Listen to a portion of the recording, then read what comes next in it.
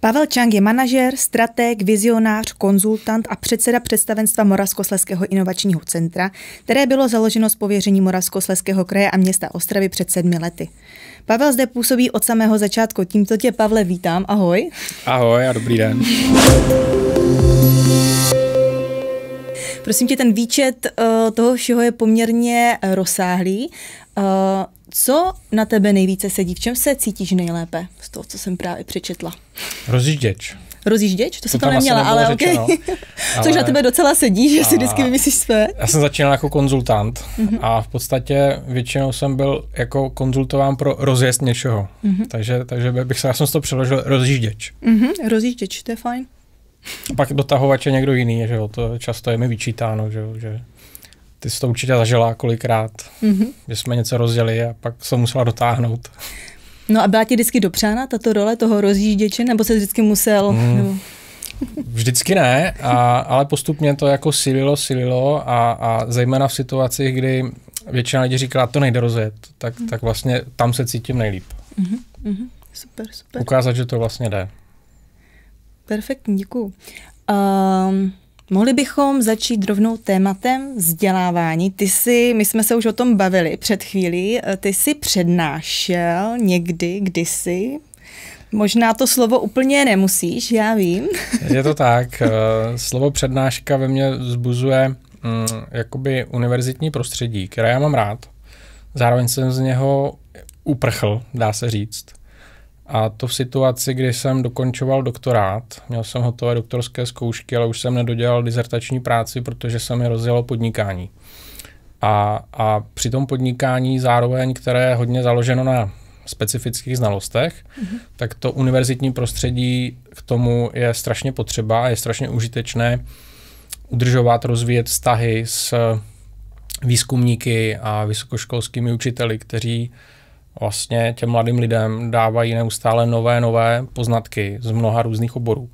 A, a vlastně v momentě, kdy se pohybuješ v inovacích, tak potřebuješ mít určitý vhled do mnoha oborů, technických, přírodovědných, ale i humanitních. A já jsem měl to štěstí, že jsem vlastně dělal doktorát eh, ve vědě, která se jmenuje ekonomická geografie. Mm-hmm. Je hrozně komplexní a, a vlastně zároveň v ničem není jako úplně nejde do hloubky se říká. No a tady ta komplexita se strašně hodí na něco, čemu se říká inovační ekosystémy a to je vlastně to, v čem se pohybuju 20 let.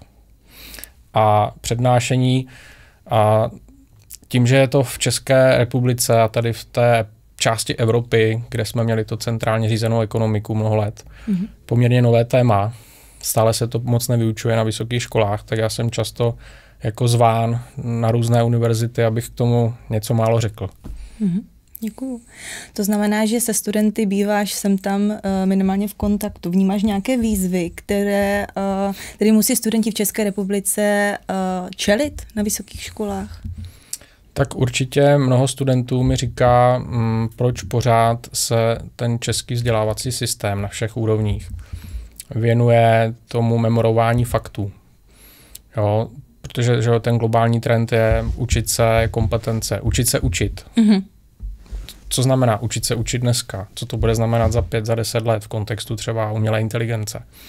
A my jsme v situaci, kdy uh, exponenciálně narůstá objem jako faktů, znalostí, ale zároveň stále zrychluje zastarávání těch faktů.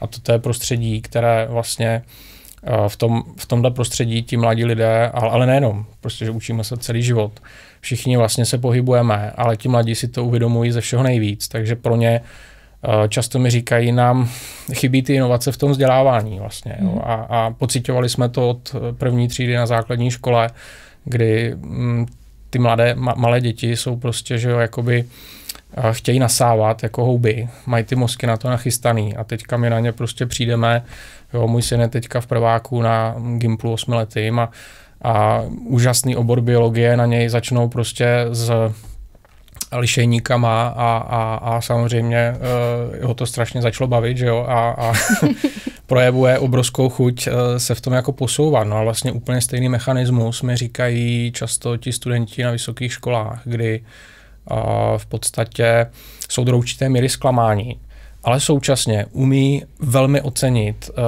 ty učitelé, kteří na to reagují, na ty trendy hmm. a, a snaží se hledat nové způsoby, jak těm mladým lidem pomoci vlastně růst, protože já bych neříkal na té univerzitě, že už jde o učení, ale, ale jde o to, že ten člověk by měl být jako koučem, někdy mentorem těm mladým lidem a snažit se jim předat nějakou zkušenost, pomoci jim pochopit trendy a, a zejména usnadnit jim učit se učit mm-hmm. jinak, využitím nových technologií. Tak jedna věc je, aby to opravdu dělali lidi, které to baví, aby opravdu byli těmi kouči.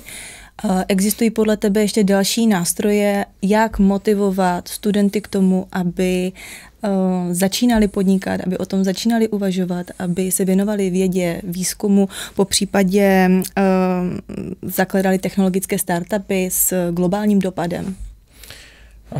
Já si myslím, že tak jak ta současná doba zrychluje a díky neustále novým technologiím, tak v podstatě dneska bez silného kontaktu s akademickým prostředím, což začíná během vysokoškolského studia, tak vlastně mm, pořádně ani ty jako technologické startupy, dneska se používá takový buzzword deep tech, jo, takový mm-hmm. pro to nejpokročilejší, a tak to vlastně ani není možné. A, a ta hlavní challenge, jako výzva teda, tak je uh, v tom, že um, České republice i v tom uh, postkomunistickém prostředí, přestože to je přes 30 let, tak přežívá důraz na materiálno, na techniku a zatímco podnikání je o riziku.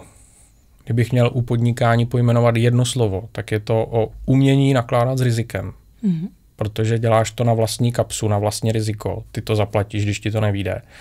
A současně, mm, jak se mezigeneračně předávají určité zvyky, způsoby přemýšlení, tak tady v té části světa, kde jsme, tak je taková jakási obava z neúspěchu. Že riziko, obava z neúspěchu a v podstatě podnikání je o tom obrátit to v té hlavě.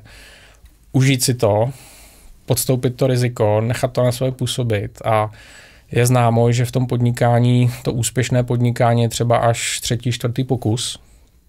Takže ten, kdo vlastně se nechá tím rizikem a tím nepříjemným pocitem třeba prvních neúspěchů odradit, tak vlastně nemá šanci dojít do toho cíle, uh, umět si to riziko užít a umět vlastně jo, být podnikavý. V tom smyslu ne někoho někde ošulit, jo, anebo něco někde uh, potají, někde jako sebrat, co vytvořil někdo jiný, ale opravdu vytvořit něco nového, co bude mm-hmm. fungovat a lidi za to nebo firmy budou chtít jako platit a ideálně na globálním trhu. Myslíš si, že to je právě ten eh, důvod, ten strach z toho rizika, že eh, se někteří můžou bát být zaměstnanci v malých středních podnicích a radši jdou do té jistoty, do toho bezpečí, toho korporátního světa? To je to, je to znova jako určitý vzorec přemýšlení mm, mm děděný mezigeneračně.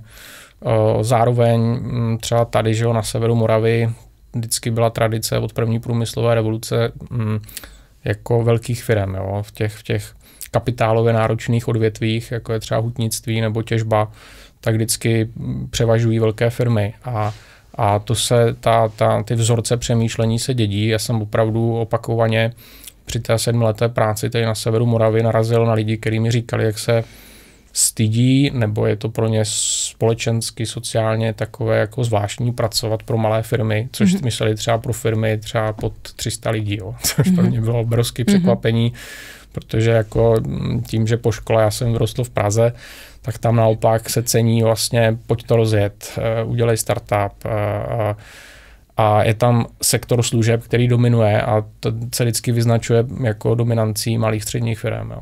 Mm-hmm. Děkuju. Svět inovací, eh, startupy, to všechno provází poměrně dynamické prostředí. Ty se v tomto prostředí pohybuješ už více než 20 let. Eh, jak ty přistupuješ ke změnám? Tak eh, mě teďka velká změna čeká. Po sedmi letech jak jsem říkal, že jsem rozjížděč, tak, tak v podstatě beru, že jsme uh, s bývalým hejtmanem a bývalým primátorem a ještě jedním parťákem rozjeli eh, MSIC a, a celé to začalo na konci roku 2016 a teď mě čeká ta změna, že v podstatě uh, rozjezd firmy, já bych řekl, téměř z nuly a během 6 let na velikost přes 40 lidí se 100 milionovým obratem, tak eh, je v podstatě Dělal jsem to pro uh, pořád jako veřejný zájem, mm-hmm. protože přestože jsme jako akciová společnost, tak naším posláním je rozvoj inovačního ekosystému, což je vždycky jako zájem veřejnosti. Samozřejmě té podnikatelské veřejnosti, té akademické veřejnosti a aby ještě ty světy ideálně byly co nejvíc propojené, aby se těm inovacím a technologickým firmám mohlo dařit, ale pořád je to veřejném zájmu. No a teďka ta změna je v tom, že se vracím zpátky jako do podnikání, ale zároveň na sobě cítím, že mm, už jsem podnikal jako dříve poměrně dlouho a, a vždycky mi jako nedávalo smysl podnikat jenom jako pro vydělávání peněz, ale vždycky tam potřebuji mít nějaký přesah. Takže pro mě ta změna teďka je vlastně v tom novém hledání, nejenom tady na severu Moravy, ale v celém Česku a patrně i za hranicema, jak uspořádat vlastně mm, to podnikání zároveň s tím, aby to podnikání přinášelo ten, ten veřejný zájem v oblasti zlepšování prostředí pro inovace, protože pořád po těch 20 letech vlastně mi i nedává smysl opouštět tady tohleto dynamické prostředí, protože já mám rád ty změny a já se je užívám. Pro mě vždycky ta změna je kumulace obrovského množství nové energie a, a mám už vyzkoušené, že většinou tím nakazím pár dalších lidí, kteří se ke mně rychle přidají. Mm-hmm. Uh, umíš například doporučit, jak by firmy nebo startupy, které přináší uh, inovace, uh, měly přistupovat k takovýmto změnám, myslím tedy uh, ke střídání v těch vedoucích pozicích? Já si myslím, zastávám i ten názor, že mm, pokud ta firma není moje, mm-hmm. a, tak není zdravé, když příliš dlouho a tu firmu vede jako jeden člověk. A, a co je dlouho?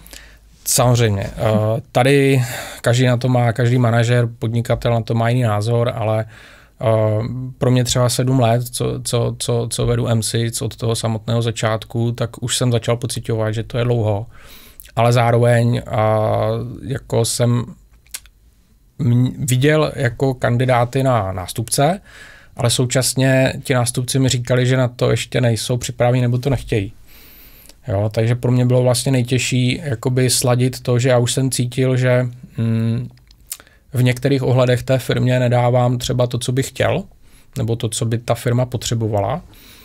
A současně uh, zase, když člověk vidí, že třeba ten vytipovaný nástupce ještě třeba mm, pochybuje, tak, tak není jednoduché to rozhodnutí načasovat a udělat říct, tak teď dobře, jako pojďme do toho. A, a, a vlastně mě k tomu teď motivovali k tomu finálnímu rozhodnutí určité okolnosti, řekněme, z oblasti mm, různých změn na straně akcionářů. Rozumím, rozumím. Ale takové to, že si člověk uh, řekne, teď je ten správný jako čas, dejme tomu odejít nebo posunout se někam, dát, změnit roli, uh, tak uh, to by měl člověk asi podle toho, co říkáš, zavnímat sám teda u sebe. Já se pro mě vždycky je to ten jako vnitřní pocit a opravdu, když se jako mm, přistihneš, že vlastně ta energie najednou jako kdyby místy chybí, nebo, mm-hmm. nebo si řekneš, a tak nejdu do toho úplně na 100%, tak, nebo na 120%, mm-hmm. jo. Já mm-hmm. jsem zvyklý prostě, když jako rozjíždět, že jo, tak prostě do těch věcí jít jako mm, naplno po hlavě.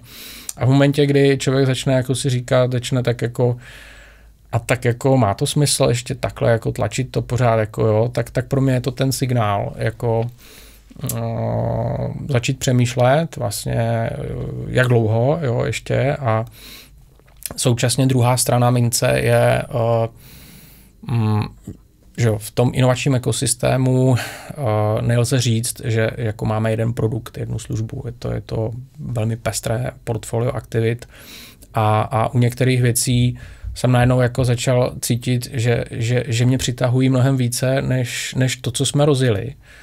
A, a někteří zákazníci nebo partneři začali říkat, ty a tady toto chybí a nemá to náhodou větší dopad, než to, co teďka už děláte, kdy to už jako funguje nějak. Jo. A v tenhle moment v podstatě s tím a, mým nastavením v podstatě pak zesiluje ta energie, hele, aha, změříme si ten dopad, porovnáme tamto a, a najednou, aha, my bychom to možná mohli dělat jinak, ale nikdo jiný to takhle jako nechce rozjet a jsme zpátky u toho původního. Mm-hmm. Jo, tak, tak, tak, tak člověk řekne, dobře, tak předáme tu firmu, to už je nějak zajeté, po nějakých kolejích to jede, samozřejmě tam je spousta oblastí, uh, jako kde je potřeba dále zlepšovat, optimalizovat věci a tak dále. Je to v podstatě jiná povaha inovací a změn, a, a, ale zase jako dobít si ty baterky právě tou energií z toho nového. Jo? Takže tak, takhle já funguju a, a, a vždycky je dobré právě i proto, jak každý člověk je jiný, tak pro ty mm, různé etapy uh, vývoje firmy se hodí jinak nastavení lidé, i proto to souvisí s tím mým přesvědčením, že mm, jako třeba nedovedu si představit, jako, že bych tu jednu firmu vedl 10 let. Jo. Mm-hmm. Pokud by nebyla moje. Což teďka do toho se chystám, ale zase uvidím třeba, třeba někoho přizvu na palubu jako společníka, společnici, třeba to pak prodám jo, a tak dále. No. Dokázal by si zhrnout nějaké uh, zásadní milníky za tak dlouhou dobu uh, práce v MSIC? A první milník byl v podstatě vůbec to přesvědčení, jako že to mm, bude fungovat v tomto regionu. Zkusím to vysvětlit. Já jsem vždycky předtím a, a pracoval v regionech, do kterých ze všech stran přicházeli talentovaní lidé. A když vezmeme v Česku Praha, Brno, to jsou magnety, kam chodí ty nejtalentovanější lidé, nejenom z České republiky často, a vlastně studovat, pracovat, podnikat, investovat. A mm, v takových jako městech se ten inovační ekosystém do značné míry rozvíjí sám od sebe. Mm-hmm. A pro mě byla největší výzva vyzkoušet rozvoj takového inovačního ekosystému v městě a regionu, odkud mm, 30 let lidi od, odchází.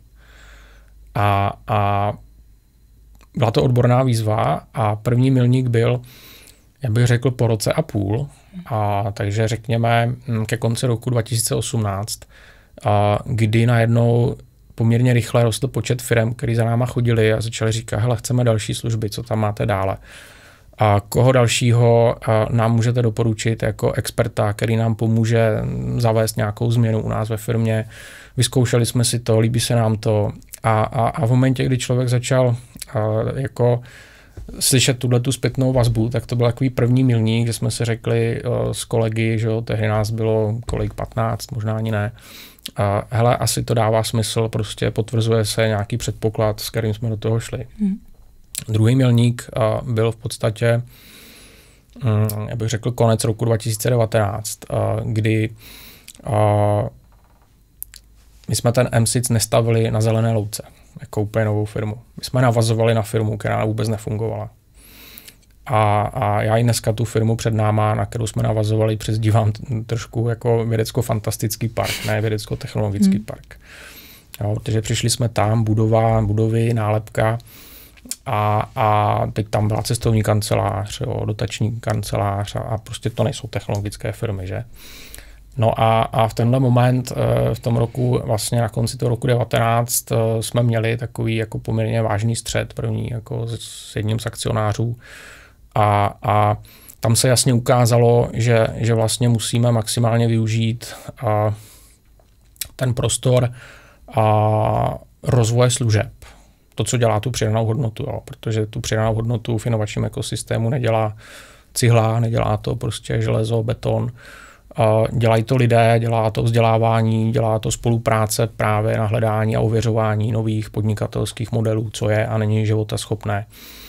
A, a od tohohle milníku v podstatě jako do dneška uh, existuje poměrně významný jako spor s jedním z akcionářů a já ho tady nechci jako rozebírat, to nikomu nepomůže, ale je to vlastně mm, to, že do té doby jsme měli úplně jako hladký rozjezd, v podstatě všichni jsme si rozuměli a bylo strašně cítit, jak ta spolupráce vlastně strašně rychle posouvá věci dopředu a usnadňuje jako nabalovat další věci.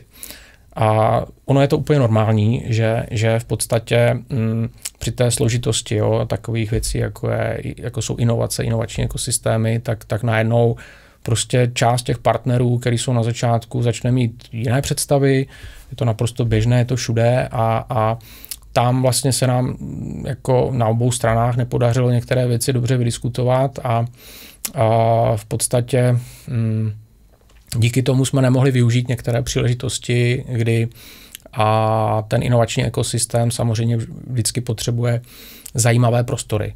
A my jsme nebyli schopni společně s vlastníkem těch budov jako těm klientům nabídnout eh, špičkové uh, fyzické prostředí, špičkové budovy s nejmodernějšími technologiemi.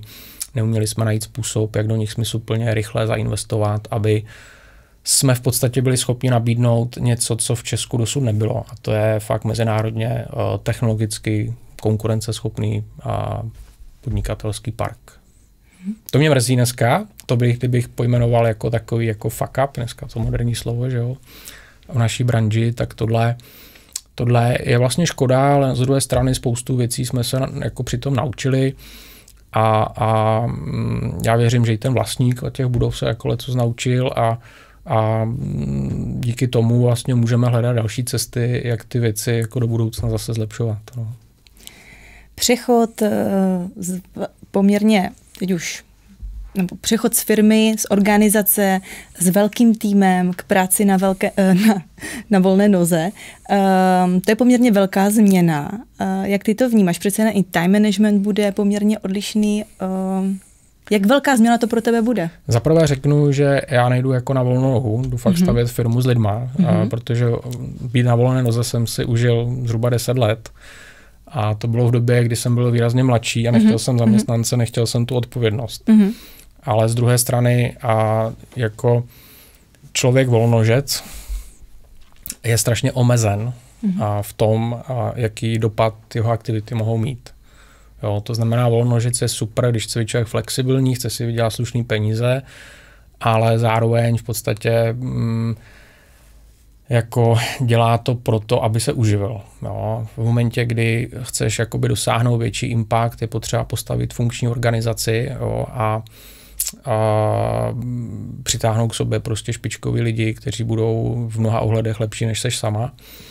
A, a mm, dávat tomu nějaký směr, který těm lidem dává smysl a přitahuje je, že jo, řekněme, k tobě, k té tvé jako vizi a misi, protože dneska je tolik skvělých firm a tolik skvělých organizací, že, že ta konkurence je obrovská a toto je asi dneska ta největší výzva té změny. Jo. Vlastně hmm. dobře uh, sformulovat a hlavně prodat těm správným lidem tu tvou vizi, abys měla silný tým. Jo. A to je to, na co se těším, a mm-hmm. protože mám poměrně jasnou tu, tu, tu představu, co chci dělat, proč to chci dělat, ale vím, že to nemůžu dělat sám, musím to dělat s poměrně velkým množstvím lidí a taky jak, v jakési, řekněme, alianci spolupráce s řadou dalších jako firm a organizací. Mm-hmm. Můžeš eh, blíže popsat, jaké budou tvoje priority v té nejbližší budoucnosti, mm-hmm. tady co se týče tvého plánování, a... podnikání? Já vnímám velmi silně to, že Česká republika jako celek eh, je někde na začátku cesty přechodu od nákladově založené ekonomiky k znalostně založené ekonomice. A pokud chceme a v podstatě dál zase, nebo vrátit se k té cestě přibližování naší prosperity úrovni Německa, notabene třeba Skandinávie, a tak musíme zásadně změnit přístup k podnikání, vzdělávání a vůbec i celou hospodářskou politiku a ty zkušenosti za těch 20 plus let, tak chci vlastně mm, jakoby zhodnotit ve dvou rovinách. První je, že chci, a to je taková, řekněme, neúplně komerční, ale spíše taková jakoby impactová věc, vytvořit takzvanou Akademii inovačních ekosystémů, kdy ve spolupráci s partnery nabízíme v podstatě modulární profesní vzdělávání, který se neustále rozvíjí ve spolupráci s lidma praxe. Zároveň vidíme, že Česká republika je pořád v tomto oboru na začátku. Ani na univerzitách se to neučí. A, a i my, když jsme stavili MSIC, uh, tak ty jsi to zažila konec mm-hmm. konců, a tak v podstatě na trhu nejsou lidi, kteří řekneš, hele, hledám někoho, kdo má 10 let zkušeností s rozvojem inovačních ekosystémů. Jo, a, a tím pádem a když jsme ten MC stavili, tak jsme sami zažili, jak těžko se ten tým buduje a, a i když se vlastně super lidi dostanou dovnitř, tak neustále jsme řešili, jak to spolu souvisí, proč to děláme jako jedna firma. Mm-hmm. Jak spolu souvisí, proč děláme něco do vzdělávání, proč děláme něco do a, výzkumu vývoje, proč děláme něco do akcelerace startupů, jak to spolu, ještě provozujeme nějaký domy, jak to spolu vlastně souvisí. My děláme čtyři firmy ve, jako pod jednou střechou, a tohle je vlastně to nejtěžší, mm, pomoci těm lidem pochopit tu komplexitu a, a toho náročného prostředí pro inovace a podnikání v nových technologiích. No a právě tím, že to chybí, tak eh, z toho trhu je poměrně rychlá a silná odezva, že, že je potom poptávka. Řada, řada lidí vlastně, eh, kteří byli na takovém jako úvodním modulu a tak vlastně čeká jako na další, další obsah, eh, do kterého se chtějí zapojit a, a zejména v Praze přibývá vlastně partnerů, který chtějí společně tu, tu akademii v úvozovkách jako postavit. No a máme vyzkoušené, že vlastně mm, z té akademie a vlastně lidé začínají říkat, aha, tak teď jsme si to tady, teď jsme to pochopili, některé souvislosti, které nám zatím unikaly a, a teďka tak eh, nechceš nám tady pomoct eh, rozjet tady to nebo zlepšit tady takovouhle službu. A, a tím, že jsme na začátku toho přechodu celé ekonomiky k té znalostní ekonomice, a tak vlastně ve všech jako regionech je spousta práce. Na trhu je dneska poměrně málo firm, které tuhle oblast dělají, zatímco třeba ve Skandinávii, Švýcarsku, těch zemích, které jsou na špičce světa tady v tom, a tak tenhle trh je jako mnohem rozvinutější. A já jsem si řekl, dobře, tak pojďme tady pro, tu, pro ten kontext té postkomunistické Evropy udělat takovouhle firmu. Takže je to trochu vzdělávačka, trochu konzultačka a zároveň zatím ta poptávka, která jako přichází, tak ukazuje, že to možná bude i, i taková něco jako poloinovační studio. Uvidíme, jak se to celé jako vyvine, ale je to nové a tím je to strašně zajímavé. Tvá spolupráce s Msicem bude nadále pokračovat, budete pracovat společně na nejrůznějších aktivitách, včetně startupové platformy. Eh, jak ty vnímáš v Moravskoslezském kraji eh, startup scénu? Ano, já tady zdůrazním, že jako neodcházím z MSICu, mm, zůstává, spíš bych řekl, měním roli. Ano, budu externista, nebudu zaměstnanec eh, v MSICu. Ale v tom inovačním ekosystému nadále jako působím a řada firm se mě dneska ptá poslední týdny, jako, mm, co můžeme udělat společně. A tohle je v podstatě jeden z hlavních výsledků, kterých já si cením, že, že na počátku tady byla určitá jako investice, kterou udělal veřejný sektor, zdaní nás všech, do vybudování určitých vztahů a, a mezi firmami a, a s univerzitami.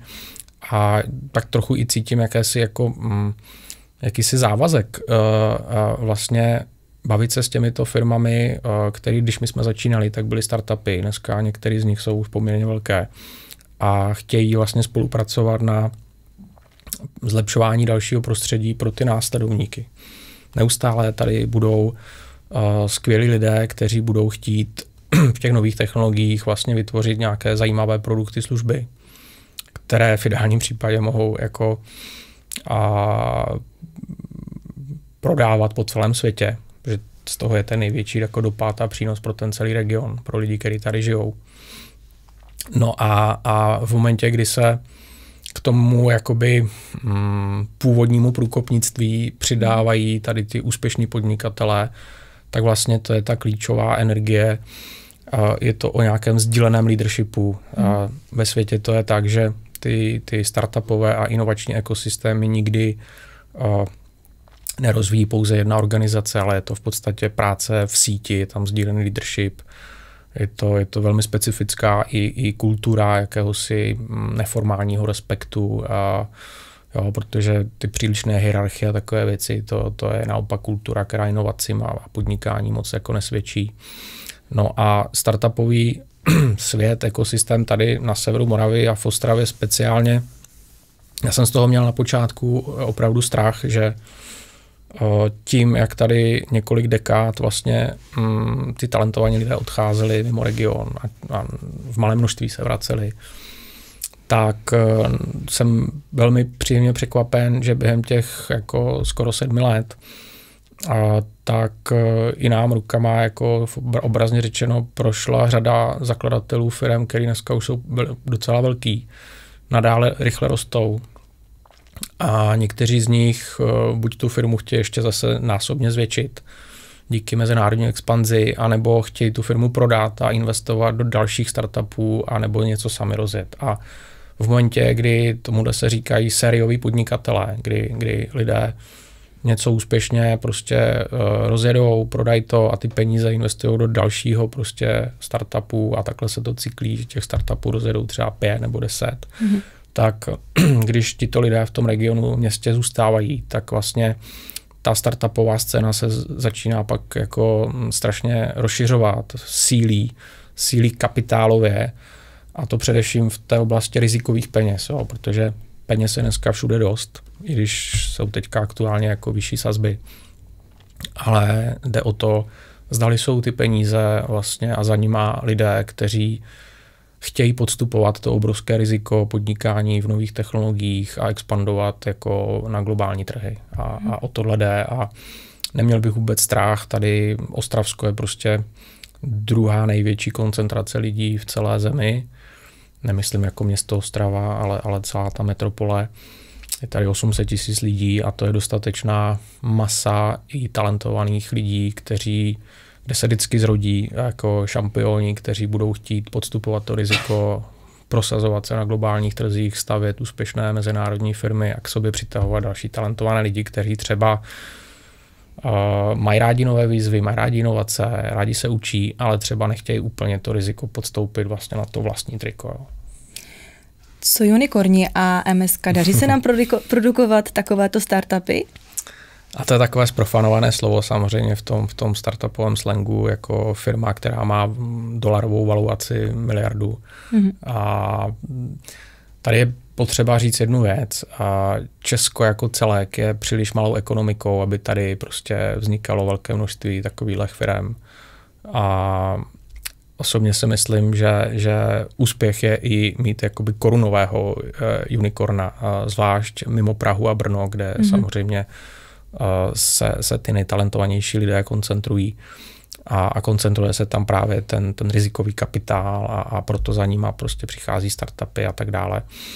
A já si osobně myslím, že mm, tady jako na Ostravsku, často se mě na to lidi ptají, bych se nezaměřoval na to, kdy nebo jestli uděláme a, a jako unicorna v tom dolarovém vyjádření. Já bych se naopak zaměřoval spíš na takový, abych to nazval skandinávský model, kdy se jako nesnažím o něco, co je co největší, ale snažím se o to, aby mm, dostatečné množství lidí a mělo ten podnikatelský mindset a to přesvědčení a ochotu podstupovat to riziko, posilovat tu celkovou kulturu, rozjíždění vlastního biznesu, jo, dávat přednost před tomu riziku, naučit se s ním pracovat, než, než hledat tu jistotu někde na úřadě nebo ve velké mm, tradiční korporaci. A, a tady v tomto smyslu ta současná generace těch startupů si myslím, že může být perfektním jako vzorem, inspirací pro mnoho, mnoho dalších a máme tady pořád v regionu 30 tisíc studentů řádově a pokud se jim budeme jako pečlivě věnovat po několik vlastně jako řekněme těch generací, tím myslím toho studijního života, mm. tak do deseti let si myslím, že, že tady ta jako ostravská metropole může být jako velmi, velmi úspěšná a, a může přitahovat další jako mladé lidi a posilovat takovou tu sounáležitost, když tady vyrostu, tak, tak vím, že tady třeba můžu něco rozjet a, a přesto to můžu dělat po celém světě. Nemusím utíkat do Prahy nebo do Berlína nebo do Ameriky. Mhm. Ty jsi zmínil uh, termín mindset. Uh, vnímáš, uh, že zdejší podnikatelé, ať už startupy, větší firmy, uh, spojuje něco, uh, mají něco společného třeba právě, co se týká toho mindsetu? Tím, jako, že jsem žil řadu let v Praze, Brně a teďka tady, tak to, kdybych, já nevím, jak to pojmenovat, ale teď mě napadá slovo houževnatost. Mm-hmm možná vytrvalost, to je, to podobné v něčem.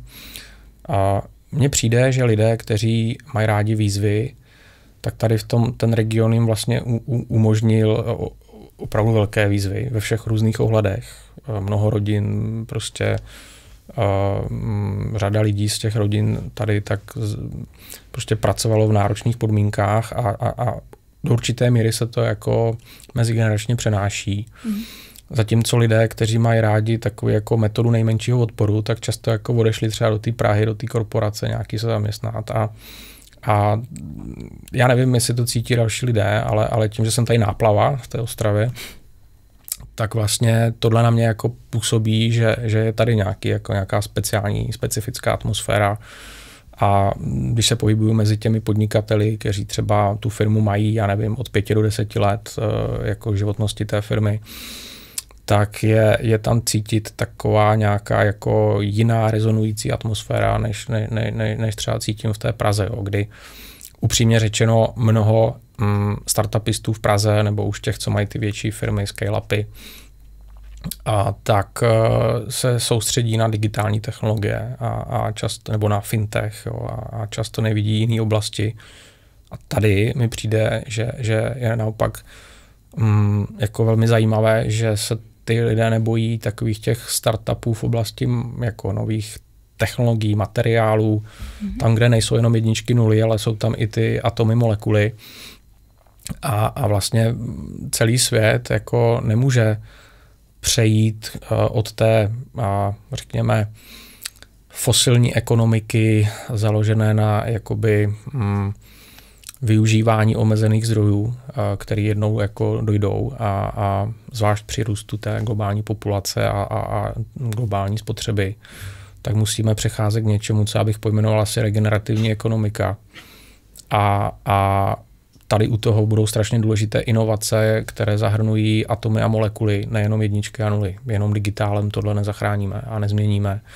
A tenhle region má velmi právě tu výhodu, že tady od první průmyslové revoluce jsme se zabývali atomy a molekuly, molekulami a, a energií v různých podobách, protože to, kolik levné energie budeme mít a jak rychle a levně budeme schopni měnit do různých užitečných podob, tak to vlastně uh, je ta budoucnost uh, jako udržitelné ekonomiky, protože svět se nebude chtít uh, uskromnit, spotřeba bude růst mm-hmm. lidé budou chtít spotřebovávat a, a jiná cesta, která teda já si umím představit, tak je kombinace to, co ta digitální revoluce dneska způsobuje, tak ale propojitý s tou další revolucí v oblasti mm, výroby, přenosu, přeměny, využití energií a, a nových materiálů a, a toto vlastně si myslím, že nás čeká do budoucna nevyhnutně. Máme-li mm, tu jakoby globalizovanou ekonomiku udržet eh, v hranicích eh, nějaké environmentální udržitelnosti. Mm-hmm, mm-hmm. Ty si tak teďka už lehce nastínil určité výzvy, výhody, které vlastně tento region pro podnikání přináší. Přeci jen si s majiteli firem, s firmami v každodenním kontaktu. S jakými nejčastějšími výzvami se podle tebe právě firmy v našem regionu potýkají? Strašně záleží, co je to za firmu. Eh, ani tak ne jako obor, ale jako nějaká etapa vývoje. Mm-hmm. Jak ta firma je mladá, a, a jak je kapitálově vybavená a jakou má ambici ten člověk, který je ve vedení a, a jeho nejbližší tým. A pro ty, kteří mají ty ambice podnikat globálně, ať už tam jsou nebo tam teprve směřují, tak ta hm, hlavní výzva je získat ty správné lidi, protože, jak jsem říkal už jako dříve, mnoho talentovaných lidí z tohle regionu odešlo. A pořád ten region má určitou image mm, a ne každý tady prostě chce se přesunout, eh, bydlet tady dlouhodobě a tady vést jako svůj život. A a všechny ty rychle rostoucí firmy, se kterými jsem měl možnost tady pracovat, tak měli společné, že jako uh, měli převis poptávky a, a bylo a stále je náročné najít ty správné lidi v dostatečné množství dostatečně rychle. Mm-hmm. Tak to, to tam jako cítím jako společný jmenovatel.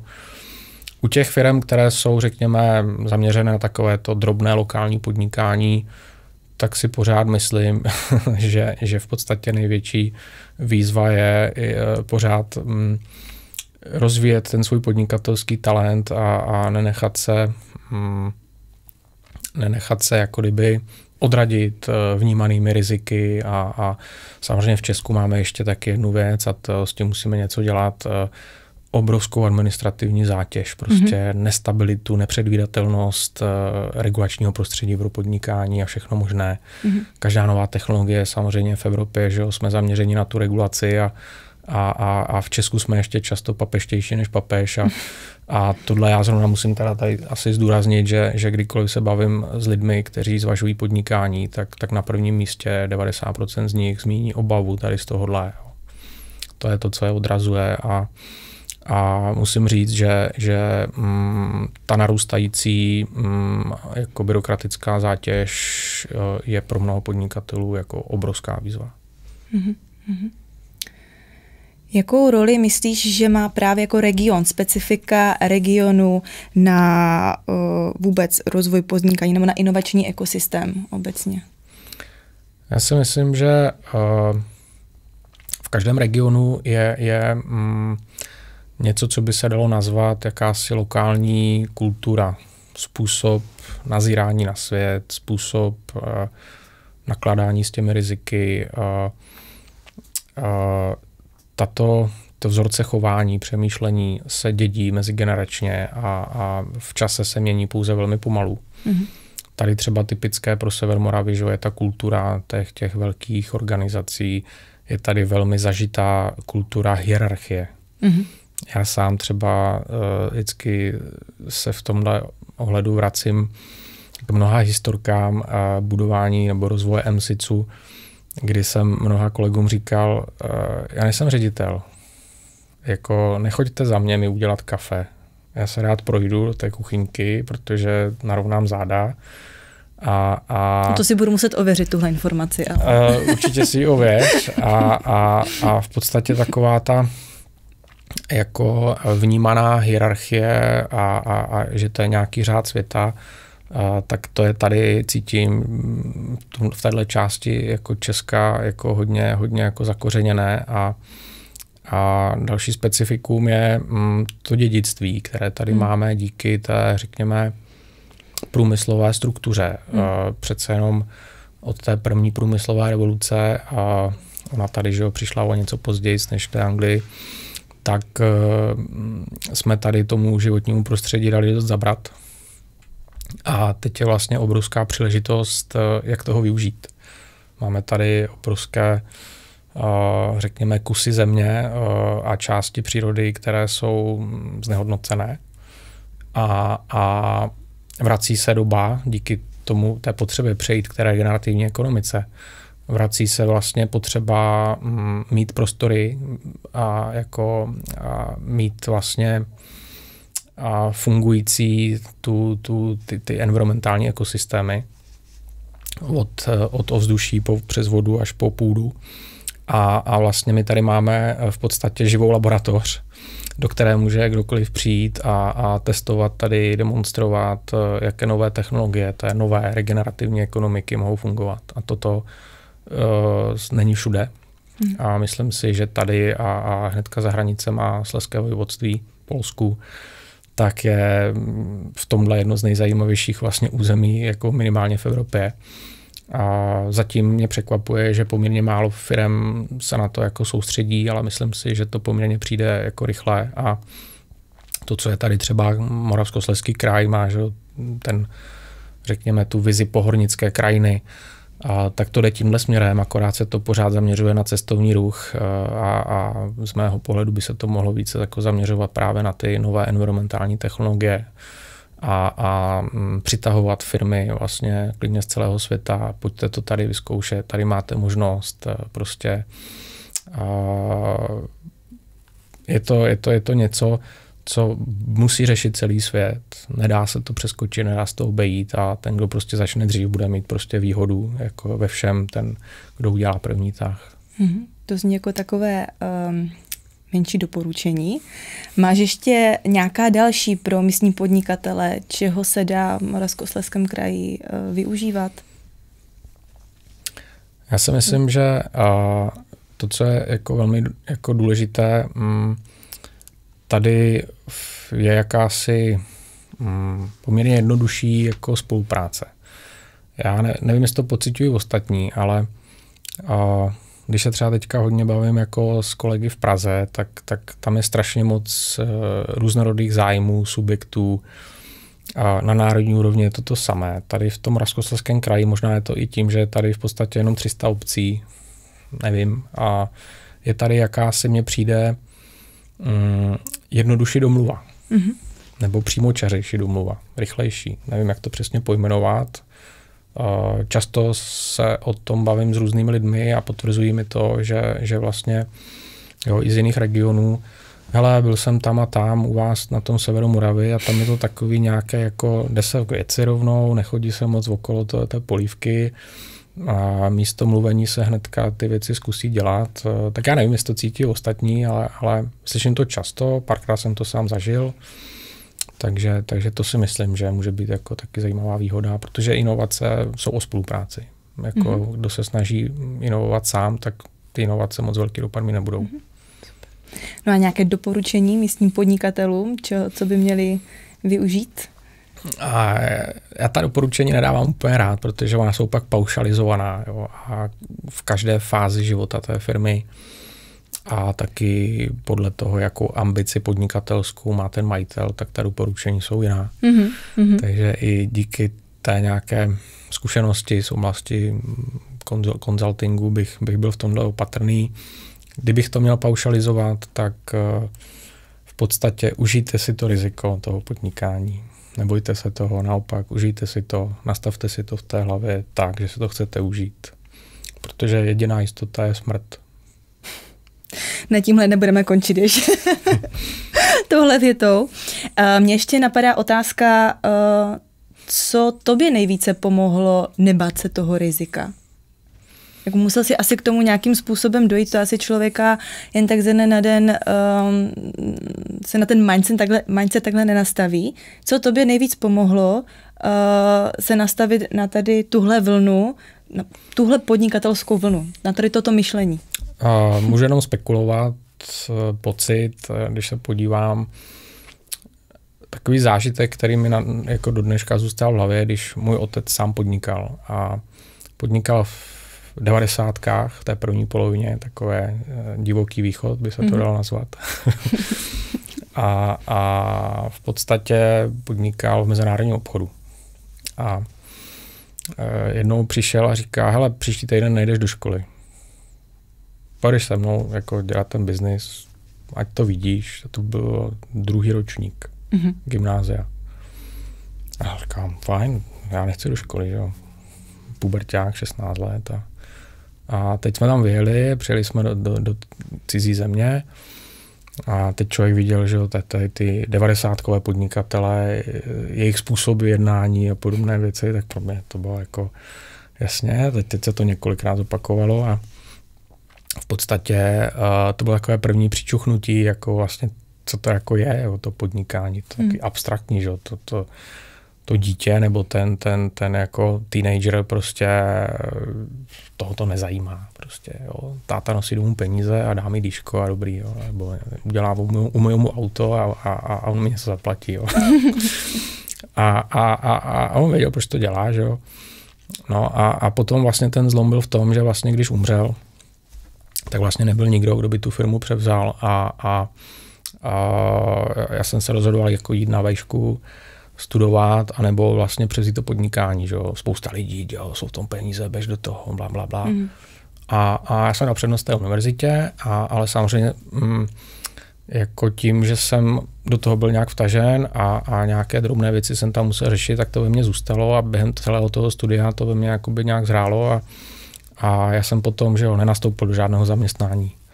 Jo, já jsem jako, uh, přitahovala mě ta, ta akademická dráha v tom, v té jako svobodě učit se mm-hmm. a, a rychle jako moci na sobě pracovat. Ale během a té, té akademické dráhy jsem měl vlastně jako možnost uh, uh, řekněme, do nově se utvářejícího oboru a, a tady těch, řekněme, hospodářského rozvoje, inovací, inovační politiky, vlastně se dostat, rychle se naučit, jak v tom vydělat peníze, abych byl nezávislý a, a v ten moment v podstatě jsem pochopil, že jako nechci být zaměstnanec. Z druhé strany, po deseti letech potom toho jako být na volné noze, tak ten volnonožec se jako rychle, mm, já bych řekl, omrzí v tom, že musíš furt dělat business development, jsi mm-hmm. na dovolené jo, a voláš, sedíš tam na té pláži u moře a, a nebo na horách, na tom kopci a teď no to zní strašně jo, otravně, ano. No, že jo, a přemýšlíš, přemýšlíš ty, ale já teď musím jako tady dole z chaty zavolat, prostě dát si hodinku s někým, mm. protože prostě a příští týden bude jako rozjet nějaké zakázky a musí se něco nachystat třeba. Jo. A teď mm-hmm. seš jako volnonožec na to sama, že jo. jo. Takže to je ten, ten vlastně jako život toho volnonožce. A v tenhle moment v podstatě, mm, když se k tomu vrátím, a tak eh, je mi jasné, že chci tu firmu, jo, protože mm-hmm. v podstatě eh, jedno z nejhezčích věcí na MSICu bylo, jak si člověk vyzkouší vytvoření té firmy Ona není ani úplně rychle rostoucí, ale ani pomalu rostoucí. Jo, řekněme ze tří lidí mm, na začátku na, na přes 40 lidí jako za 6,5 let. Tak eh, to, jak si člověk vyzkouší a ochutná to, stavět tu organizační strukturu, delegování a, a, a jako specializace rolí, tak to je nakažlivé. A v momentě, kdy chceš mít nějaký impact, tak, tak jako je jasné, že potřebuješ tu organizaci. Jo. A potom i ten, i ten jako team spirit, ten kolektiv, který prostě mm, žije tím posláním, tak to je strašně jako nabíjející, takže teď jako vím, že v té nové organizaci jako tohle chci, no a, ale pořád ve mně zůstává, jak se ptala, ten, ten jakýsi podnikatel v tom smyslu, že mm, cítím tu odpovědnost za to, jako mojí roli je vytvořit dostatečně atraktivní vizi, misi a, a přitáhnout k tomu ty správné lidi. Jo. Děkuju. Já děkuji. Ještě než skončíme úplně, tak uh, si projdeme takový malý kvíz a já tě poprosím uh, odpovídat co nejrychleji. První věc, která tě napadne, ta je ta správná, moc nepřemýšlet je ideální. Tak, můžem? Můžem. Benzín nebo elektro? Benzín. Osobní schůzka nebo kol? Kol. Finance nebo technologie? Technologie. Vzdělání nebo pracovní zkušenost? Zkušenost. Kde se vidíš za sedm let? Podnikatel, investor. Co je to úspěch? Spokojenost v životě. Kdo je Pavel Čang? Inovátor, možná. Doufám. Pavle, děkuji za dnešní rozhovor. Já taky moc děkuji. Já ti přeji uh, spoustu úspěchů ve všech oblastech, které si nám nastínil a brzy na viděnou a naslyšenou. Také se těším. Děkuji. Ahoj, nashledanou.